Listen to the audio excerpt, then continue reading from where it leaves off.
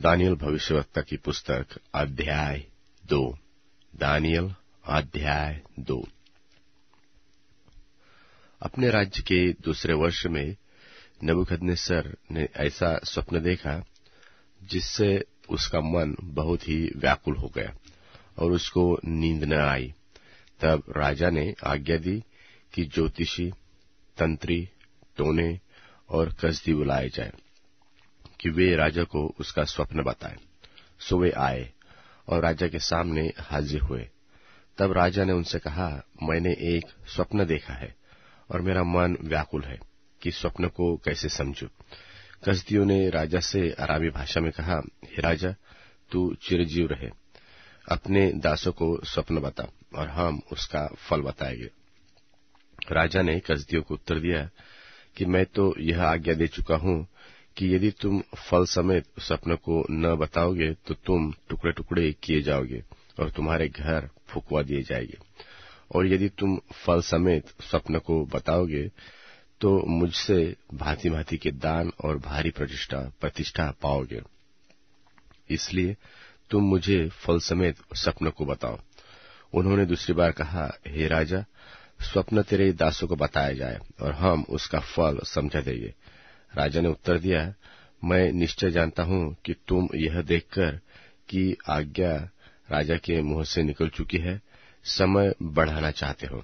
इसलिए यदि तुम मुझे स्वप्न न बताओगे तो तुम्हारे लिए एक ही आज्ञा है, क्योंकि तुमने गोष्ठी की होगी कि जब तक समय न बदले, तब तक हम राजा के सामने झूठी और गपशप की बातें कहा करेंगे। इसलिए तुम मुझे स्वप्न को बताओ। तब मैं जानूँगा कि तुम उसका फल भी समझा सकते हो। कस्तियों ने राजा से कहा पृथ्वी भर में कोई ऐसा मनुष्य नहीं जो राजा के मन की बात बता सके, और न कोई ऐसा राजा व प्रधान व हाकिम कभी हुआ है जिसने किसी ज्योतिषी व तंत्री व कस्ती से ऐसी बात पूछी हो, और जो बात राजा पूछता है वह अनोखी है। और देवताओं को छोड़कर जिनका निवास मनुष्य के संग नहीं है, कोई दूसरा नहीं जो राजा को यह बता सके। इस बात से राजा ने झुंझलाकर अब बहुत ही क्रोधित होकर बाबुल के सब पंडितों को नाश करने की आज्ञा दे दी। सो यह आज्ञा निकली और पंडित लोगों का घात होने पर था और लोग दानियल और उसके संगियों को ढूंढ रहे थे कि वे भी घात किए जाए। तब दानियल ने जल्लादों के प्रधान अरयोग से, जो बाबुल के पंडितों को घात करने के लिए निकला था, सोच विचार कर और बुद्धिमानी के साथ कहा, और वह राजा के हाकिम अरयोग से पूछने लगा कि यह आज्ञा राजा की ओर से ऐसी उतावली के साथ क्यों निकली। तब अरयोग ने दानियल को इसका भेद बता दिया, और दानियल ने भीतर जाकर राजा से विनती की कि मेरे लिए कोई समय ठहराया जाए तो मैं महाराज को स्वप्न का फल बताऊँगा। तब दानियल ने अपने घर जाकर अपने संगी हनन्याह, मिशायल और अजरिया को यह हाल बताकर कहा, इस भेद के विषय में स्वर्ग के परमेश्वर की दया के लिए यह कहकर प्रार्थना करो कि बाबुल के सब और पंडितों के संग दानियल और उसके संगी भी नाश किए जाएँगे तब वह भेद दानियल को रात के समय दर्शन के द्वारा प्रकट किया गया। सो दानियल ने स्वर्ग के परमेश्वर का यह कहकर धन्यवाद किया कि परमेश्वर का नाम युगान युग धन्य है, क्योंकि बुद्धि और पराक्रम उसी के है और समयों और ऋतुओं को वही पलटता है। राजाओं का अस्त और उदय भी वही करता है और बुद्धिमानों को बुद्धि और समझने वालों को समझ भी वही देता है। वह गुढ़ और गुप्त बातों को प्रकट करता है। वह जानता है कि अंधियारे में क्या है और उसके संग सदा प्रकाश बना रहता है।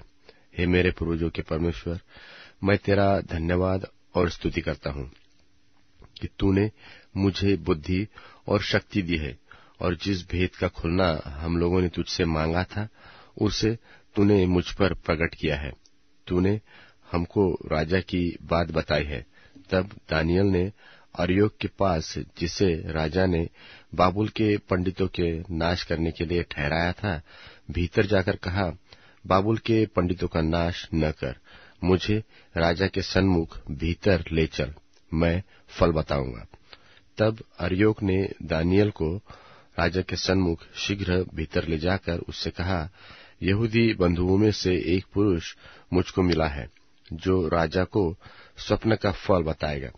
राजा ने दानियल से, जिसका नाम बेलशत्सर भी था, पूछा, क्या तुझमें इतनी शक्ति है कि जो स्वप्न मैंने देखा है, उसे फल समेत मुझे बताए?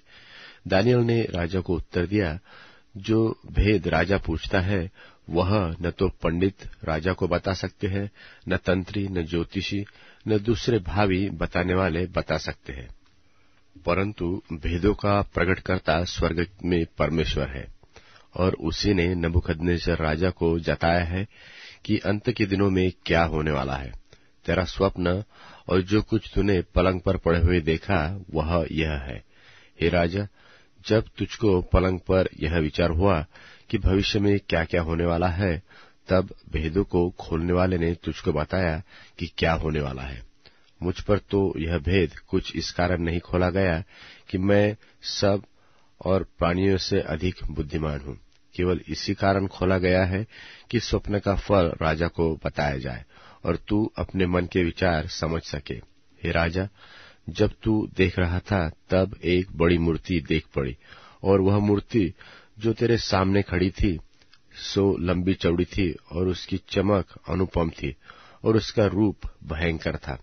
उस मूर्ति का सिर तो चोखे सोने का था। उसकी छाती और भुजाएँ चांदी की, उसका पेट और जांघे पीतल की, उसकी टांगे लोहे की, और उसके पाव कुछ तो लोहे के और कुछ मिट्टी के थे। फिर देखते देखते तूने क्या देखा कि एक पत्थर ने किसी ने बिना खोदे आप ही आप उखड़कर उस मूर्ति के पाँव पर जो लोहे और मिट्टी के थे लगकर उनको चूर चूर कर डाला।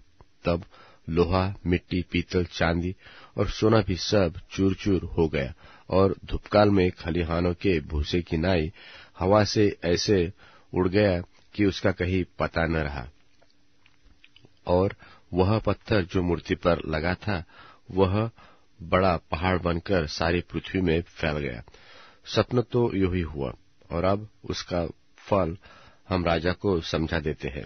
हे राजा, तू महाराजाधिकारी है। क्योंकि स्वर्ग के परमेश्वर ने तुझको राज्य सामर्थ्य शक्ति और महिमा दी है और जहाँ कहीं मनुष्य पाए जाते हैं, वहाँ उसने उनको सबों को और मैदान के जीव जंतु और आकाश के पक्षी भी तेरे वश में कर दिए हैं और तुझको उन सबका अधिकारी ठहराया है। यह सोने का सिर तू ही है और तेरे बाद एक राज्य और उदय होगा, जो तुझसे छोटा होगा।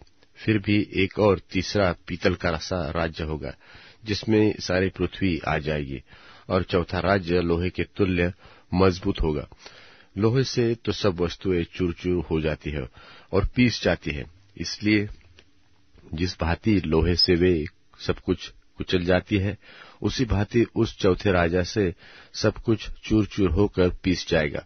और तूने जो मूर्ति के पाव और उसकी उंगलियों को देखा जो कुछ तुम्हार की, कुम्हार की मिट्टी की और कुछ लोहे की थी, इससे वह चौथा राजा, राज्य बटा हुआ होगा। तो भी उसमें लोहे का सा कड़ापन होगा। जैसे कि तूने कुम्हार की मिट्टी के संग लोहा भी मिला हुआ देखा। और पाव की उंगलियाँ कुछ तो लोहे की और कुछ मिट्टी की थी। इसका फल यह है कि वह राज्य कुछ तो दृढ़ और निर्बल होगा और तूने जो लोहे को कुम्हार की मिट्टी के संग मिला हुआ देखा, इसका फल यह है कि उस राज्य के लोग नीच मनुष्यों से मिले जुले तो रहेंगे, परंतु जैसे लोहा मिट्टी के साथ मेल नहीं खाता, वैसे ही वे दोनों भी एक बन जाए, बने रहे, न बने रहेंगे। और उन राजाओं के दिनों में स्वर्ग का परमेश्वर एक ऐसा राज्य उदय करेगा, जो अनंत काल तक न टूटेगा, और न किसी दूसरी जाति के हाथ में किया जाएगा, वरन वह उन सब राज्यों को चूर चूर करेगा और उनका अंत कर डालेगा और वह आप स्थिर रहेगा।